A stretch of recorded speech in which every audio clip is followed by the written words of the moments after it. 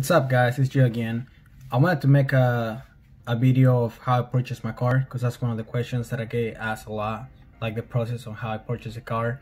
Um, the other reason I'm doing this video is one because of the, that, those, that question that I get asked a lot. Two, because I try to be helpful and uh, hopefully you guys find my video useful to, to buy the car. Because I know there's going to be a lot of service members coming to Okinawa and trying to do the exact same thing I did. Um, and then the the last reason is because I see a lot of people that don't really want to tell how they got their, their car or don't really want to tell how much money to spend on them when people are asking them uh, those type of questions. I see a lot on Instagram, for example, when people get uh, like a nice set of wheels or something like that, and people try to ask uh, specs about the wheels and they never reply because they just don't want to give their information. I'm not trying to be that way. I'm trying to to uh, make things clear and help help you guys the best I can you guys can do the exact same thing I did. I will definitely go as much detail as I can. I will tell you guys how much money I spend on, on everything so you guys keep uh, yourselves an idea and, um, how the process went. My process, I feel for myself was pretty simple, but I will explain you guys how I did everything. Um, for me, my experience was different because like I said, I'm a, a service member session Okinawa I'm not sure how it would work for people in the States. It will pro probably be a little similar or, a different country you try to buy it to or people they live in Japan there are no, you know, nothing to do with uh, the military related stuff. But hopefully you guys find it useful. So the way I did it, it's uh, this website. The you, a lot of people don't know about this website. Um, the person who referred me to this website was uh, a friend who's uh, Japanese. So I did it in the uh, Japanese version of the website, but there is an English version of it. The website, the website name is called Goonet. Uh, that's where most of the dealerships put, put uh, the cars for sale in there. It's kind of like you know how the States use Craigslist or cartrader.com I think it's called. So this is kind of like the Japanese version of it. So this is this is how it looks in Japanese. Um, so the way I did it, because like I said, I did my research in Japanese, so I didn't know there was an English version of it. I basically Google Translate Skyline, copy pasted it, and then added the the R34 uh, part to it. But you just, for me, for example, you're looking for a Skyline, of course. You can just put. I was looking for R34, so you put R34, and then you click enter, and that works as well to find the Skyline, right? then you can just click down and for I think this is a four door Skyline regular car it will give you the asking price for the car itself like how much it will be like after tax and all this stuff just kind of like a roughly estimate it will tell you what type of car it is uh, the year that it was made uh, uh, kilometers uh, the size of the engine and it will tell you over here I believe it's a type of transmission if it's automatic or stick shift you know it will tell you before you open the car. It will give you a quick little um it will give you a quick little um information of the car. And then i'm gonna i'm gonna look for a for a car that we can actually you know something that we find interesting.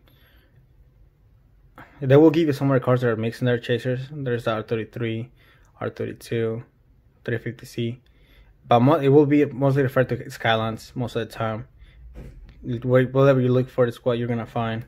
So let's say we find this Skyline GTT, just quick option, right? you will click on the car. It will show like the pictures that the dealership posts on the car. So you can just click through the pictures and it will show you the pictures, the information as well here. Then you go down of course and it will tell you the information, more information about the car and then uh, more information about the car. Now the very bottom it will tell you the information of the dealership. Um, so that's how I did, and it will give you suggestion more cars. Now we're gonna go to the English version of it because I know you guys. That's what you guys are looking for. That's what you guys will use most likely. So this English version. This is the English version of it. Different design, same website, and different kind of like different way, different things of the way I set up. So here I specified here a Nissan Skyline and I put the uh, year that I want because I know that's between the R33 and R34 years and I didn't specify what price right? To click search. Then exact same cars that you saw and the other website will be because it's the exact same website you will be here right? So actually this is the dealership that I got my car from inside garage. Um, it's in Osaka. It will tell you the place the, the, the uh, the dealership is it's on. So let's say we're going down trying to look for a specific car. Let's say somebody wants to buy a four-door Skyline R34 GTT, right? So you'll click on the car. I clicked on the car. I looked through the pictures. Like say I really liked I really enjoy. I looked at the asking price. Uh, and then uh, this is actually my first time going through the English version of it, so I might look a bit confused sometimes. Um, this is a uh, the year. The, I think it's the month and the year the car was made, the color, mileage again, uh, no repair history. It tells you all everything that you need to know about the car. Then after that, I'm gonna go look for the dealership to see the they start the English version of it. Oh, they don't. Oh, well, I guess the English version doesn't tell you what dealership is selling. Well, I might be missing it somewhere. But um, let me see if I find what dealership posted it. Well, it says the the car is here and that and that part of the of Japan. So basically, what I did, I just and the, I'm gonna show you the Japanese one. What I did was at the very bottom, it will tell you the information of the ship, and then I can't seem to find either. Oh, there it goes. So I think it's this one, I believe. So at the very bottom, it will tell you the information of the dealership. I think it's called Top Garage. So you will click on that, and then it will direct you to the, the information of the dealership. So basically, what I did, I just looked up at what what what was the name of the dealership. In this case, it's Top Garage. Then I went to Google Maps and search for the dealership on Google Maps. I clicked on it, found it on on like I found the dealership on Google Maps, pulled out their info. I called the dealership. I asked if they had an English speaker because I don't speak Japanese. They um for me it was a little different. They didn't have one on the shop, but they had a guy. They that's his job. I guess dealerships call him to uh to do deals with people that don't that speak English. So um they told me when I give me somebody who will sell me the car. The guy called me, got a hold of me. He asked me uh if I was looking for the car that that I, uh, told him that I was looking for. I said yes. So um basically when text messages he asked me to add me in a, an app well called whatsapp because here in japan every text message they charge you you don't have an iphone. You don't have like imessage so you get charged i believe. So he asked me if i had whatsapp. I gave him my i, I, got, I got the app and then he started we started texting back and forth. I asked for more pictures because i didn't want to go based just on the pictures that they posted on the on the website because they're made on the showroom. Um, i asked for more pictures. I um ask for more information about the car. We start talking about price wise. Um, something heads up. Um, Japanese don't really negotiate whenever it comes to about money. So whatever the asking price of the car is, most of the time that's what they're gonna sell it to you. They don't really like to argue about oh how much you know money will the car sell for. They they look at the way of if you don't buy it, somebody else is gonna actually pay the money that I'm asking for. Uh, so I talked to him about it. Uh, we went through the um, to the entire um, more picture ask for pictures of cars uh, for more pictures of the car you know try to see finding the car had rust or no. I asked for a video of the car to make sure the car's on it good and healthy. Um, after that he sent me emails uh, with information of the car. Uh, like the, the text part of it was mostly for us information of the car and quick answers answer and then he will send me emails with the more professional side of it like you know tell, tell me information all this stuff. Um, then he sent me an email with a template saying it was pretty much a receipt saying that uh, what car, what kind, put information on the car and how much I was gonna pay for the car and all the stuff. So once we agreed that I was gonna buy the car, he sent me a template that said that I paid fifteen thousand dollars for my car, just my car, just the car itself. Then it was thirteen hundred dollars for shipping. So he added that to the bill. He said that was the car, uh, the asking price of the car up to tax and everything was fifteen thousand dollars then um, then like uh, well pretty much I just bought the car itself. And then it, it had a little extra price for the uh, 1300 bucks for the shipment from mainland to Okinawa and it got shipped to my door. Um, they added that to the receipt. I went to Navy Federal because that's what I got my loan for. I worked, I worked into Navy Federal. I gave them that little piece of paper. Then what they did they went on Goonet as well. And then they found um, they looked for the same car that I was looking for like different cars and to see the prices. They saw that my car was about was lower than the average um, Skyline R34 GTTs that are they are up there. So they approved my loan. and then after I approved my loan, um, they they actually the bank wired the money to the guy. The guy said, "Oh yeah," and the, and the same and the same receipt that he sent me, he sent me his bank information. So we wired the money to the we sent the money to his bank. It took about 24 hours, I think, uh, for the money to actually hit on his bank. Once he got the confirmation that the money was in his bank account, he then started the process. So what he did, he asked, uh, since they were taking care of the shipment themselves, because I told them I prefer it that way, uh, they started getting the shipment process ready. They asked me an address where I would want my car to get dropped off. I sent them the address, um, and then they sent me the papers by mail. So what he did, he sent me the he sent me a, a copy. Uh, he scanned the the title, the receipt saying that about the part, the uh, an extra another receipt saying that about the car, that I paid for the car, and the car was you know paid for, like proof that I actually purchased the car. Um, and then he sent me that a scan of that and a scan of the. Um, of the title of the car on the mail. I mean on, on email. And then he sent me the original ones on the mail. So um, I got the car. Said I was supposed to get the papers first, then the car, but the car actually came in first.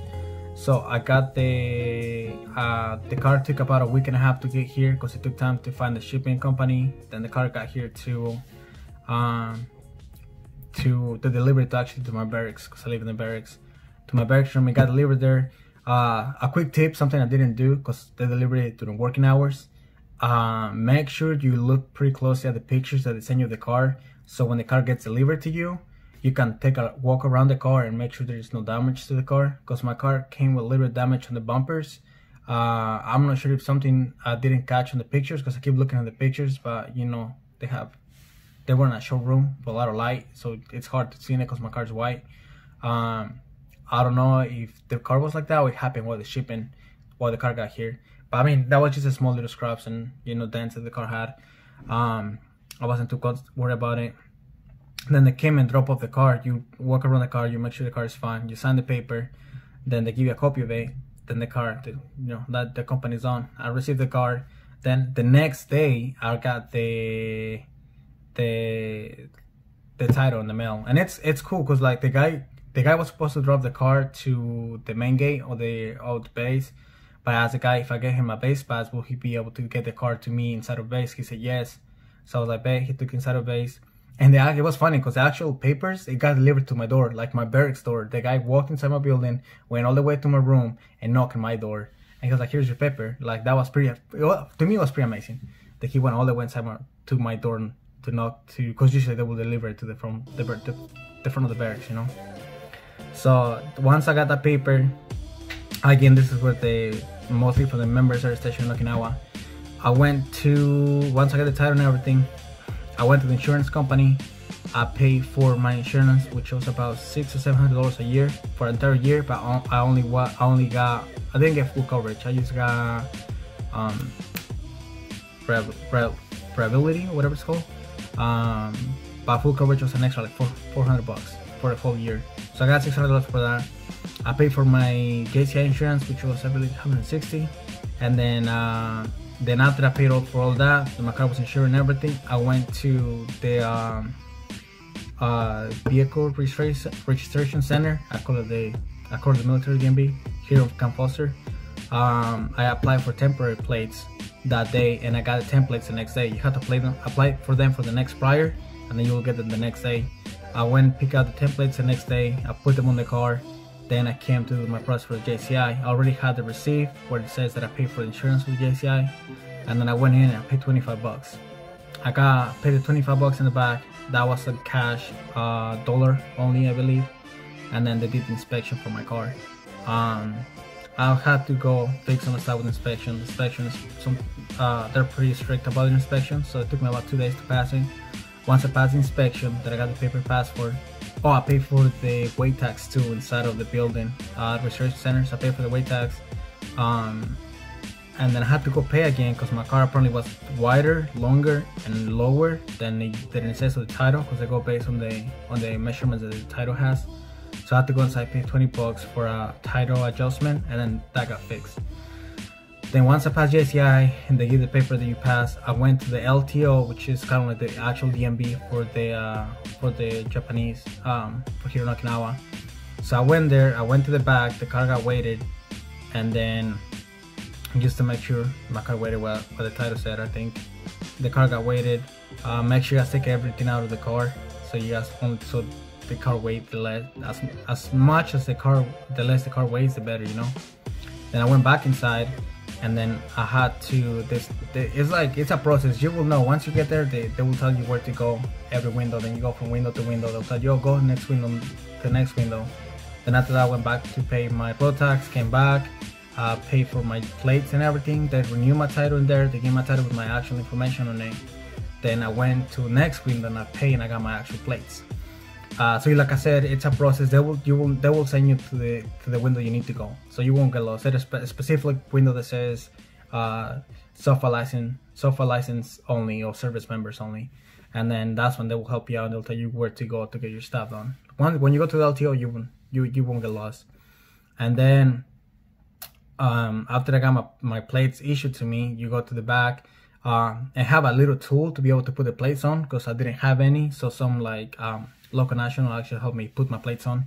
I put my plates on that you get on a little line and then they do the final inspection where they just make sure the pin numbers for your car match and then they make sure they that your plates were put on correctly and then they put the little seal thing and they got on, on the plates.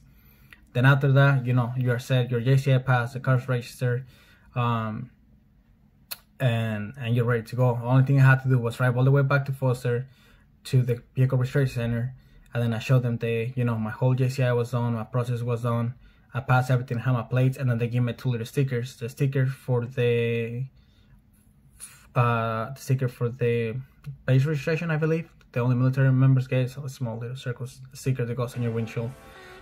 And I got the, the sticker for the uh, road tax that you gotta pay every April, I believe. So I paid for that. I got the stickers on, and I was uh, they gave my uh, oh, you had to ask them to register your car on base. So once I got that, I my I got my vehicle registration done on base and I had my all my paperwork, and then after that I was good to go.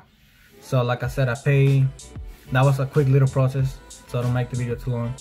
But the car itself was 1500 bucks. I paid 1300 bucks for the uh, shipping to my door. Then I pay um, for insurance, JCI, JCI insurance, road tax, weight tax, plates, templates, and all that stuff. I probably wasted around 1500 bucks maybe. So the in total was about 16, uh, 17, like close to $18,000, but that's included insurance, registration, everything. The car itself, just the car was $15,000 and it's a 1998 Nissan Skyline GTT or GT GTS 25T. Um, and that's it. That's hopefully this video was actually helpful. Um, I was trying to make this video 10 minutes, but I talked a lot because I take my time. But hopefully with this process, you guys actually got a better understanding how kind of like it works uh, to get the car, to get to get a car from mainland. And if, I mean, if you live in Okinawa and you find the car in a dealership in Okinawa, the process is way easier because you go to the dealership, you look at the car in person, you buy the car, and then they will themselves sometimes they will do the JCI themselves they will do the JCI it's just a little bit expensive but they will give you the car back with a white plate as far as I know. But hopefully you guys found this video useful. Um, I will try to make more videos about like you know car cruises and working on my car. It's just I've been too busy and uh, I wanted to make this video because that's one of the questions that I get asked a lot. See you guys later another different video